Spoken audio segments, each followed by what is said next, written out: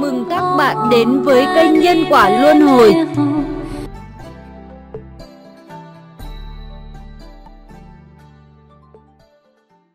Chuyện của ba tôi Ba tôi kể, vào thời đất nước đang lửa bỏng dầu sôi, ông là một sinh viên. Lúc đó có hai đảng phái chống đối nhau, đảng A ném bom vào trường khiến người bị thương vong rất nhiều. Nhưng ngay đêm trước khi xảy ra thảm họa, ba tôi tình cờ nhìn thấy một con dơi đang bị đuối nước trong ao. Động lòng xót thương, ông liền đi kiếm cây xào thả xuống cho dơi bám vào, đu lên, mà được toàn mạng sống. Sáng hôm sau thì đại họa bùng phát, ba tôi tận mắt chứng kiến các sinh viên quanh mình bị bom dội, lớp chết, lớp bị thương.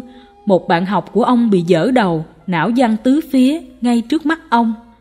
Ba tôi may mắn được bình an không sao, tất nhiên ông có thể tự mình trốn thoát, nhưng nhìn thấy các bạn học đang bị thương, nên ông không nỡ bỏ mặt, tự nguyện ở lại, lớn tiếng kêu gọi mọi người cùng hợp sức cứu thương.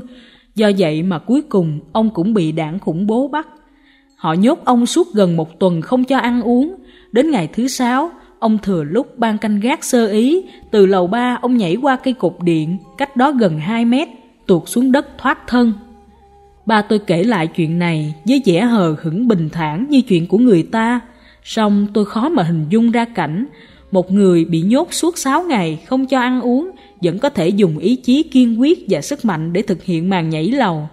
Lỡ như ba tôi nhảy trật, không ôm trúng được cây cột điện, hoặc xui xẻo bị điện giật, thì ắt là giờ này không thể có tôi ngồi đây để viết ra câu chuyện này. Ba tôi luôn nhắc nhở, trên đầu ba thước có thần linh, vì vậy con sống phải biết hành thiện tích phúc.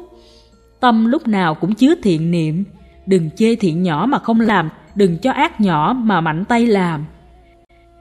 Lời phụ thân dạy tôi luôn ghi khắc trong lòng, tôi rất hãnh diện vì tấm lòng và cách sống của ba tôi.